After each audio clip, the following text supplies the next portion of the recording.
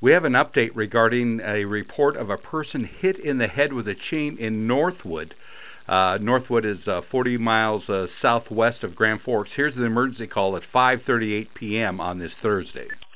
Northwood Fire EMS, Northwood Fire EMS, near the intersection of Lander Avenue and North Lincoln Street.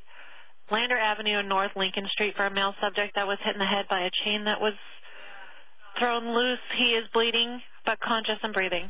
Now, I just talked with Officer Moreland of the uh, Northwood Police Department, who wasn't at the scene but says it was apparently one of those slinky ropes with a chain hooked to it, trying to pull out a vehicle, and the chain came loose and struck a person. The, the uh, victim was transported to the hospital.